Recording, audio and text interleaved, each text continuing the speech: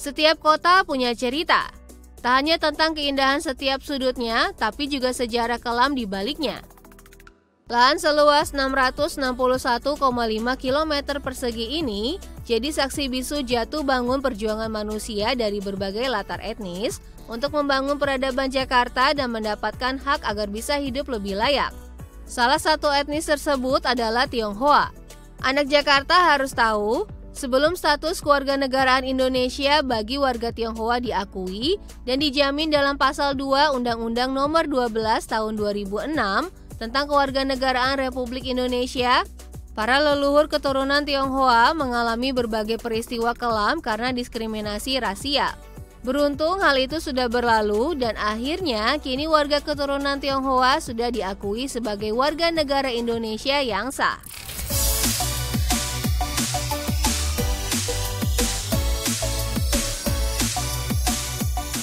Anak Jakarta pasti kebingungan nih, peristiwa kelam apa dan di mana lokasinya ya? Jangan kaget, kawasan Angke, Jakarta Barat yang sering anak Jakarta lewati inilah salah satu lokasi bersejarah itu.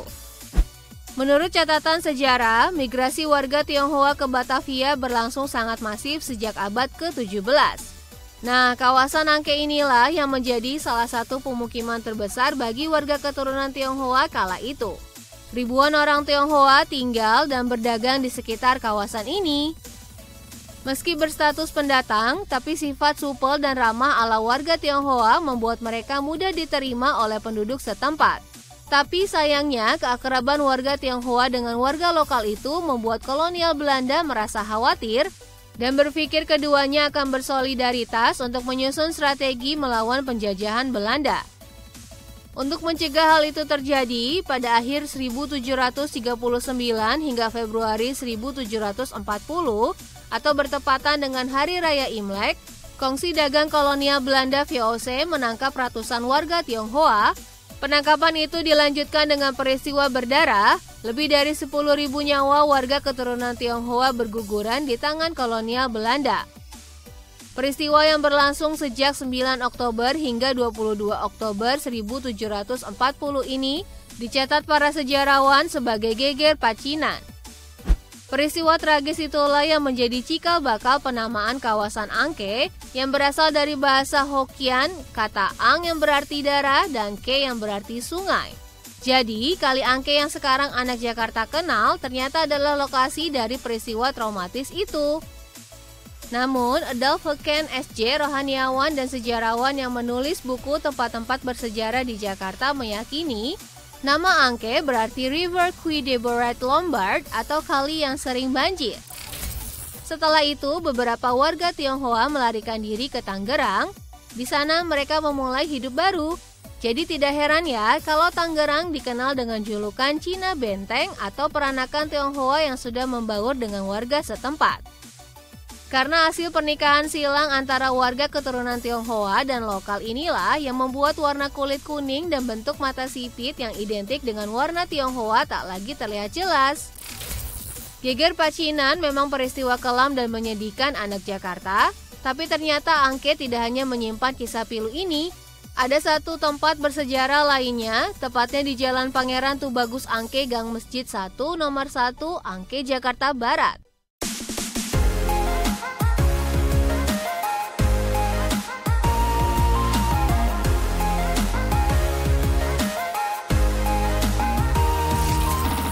Ya inilah Masjid Angke yang telah berdiri kokoh sejak 260 tahun yang lalu.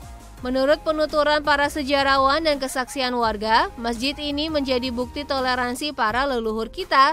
Masjid yang dibangun pada 1761 ini diyakini dibangun oleh sekelompok orang Bali di Batavia.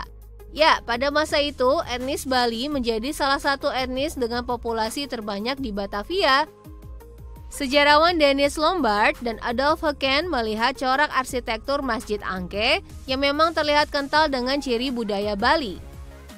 Ada pula bukti sejarah lainnya yang mencatat seorang kapitan suku Bali bernama Muhammad Paridan Toselet Babandan yang telah menyumbangkan perolehan sewa dari 2500 petak miliknya di kawasan Jalan Perniagaan Jakarta Barat.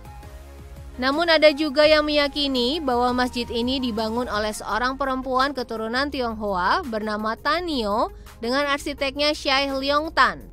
Dugaan ini muncul karena ada makam di sekitar masjid yang bertuliskan aksara Tionghoa. Banyaknya percampuran unsur berbagai budaya dari Bali dan Tionghoa, serta Belanda juga Jawa, menjadikan bangunan masjid ini begitu unik dan wajib masuk daftar wisata sejarah dan budaya anak Jakarta. Arsitektur masjid terlihat membentuk bujur sangkar serta atap limasan yang bersusun dua khas budaya Jawa. Ujung atap yang sedikit melengkung ke atas seperti gaya punggel ala rumah Bali atau ada juga yang menganggap lebih mirip atap khas Tionghoa. Sementara kusen-kusen pintu, daun pintu ganda, lubang angin di atas pintu, serta anak-anak tangga di muka masjid memperlihatkan pengaruh budaya Belanda.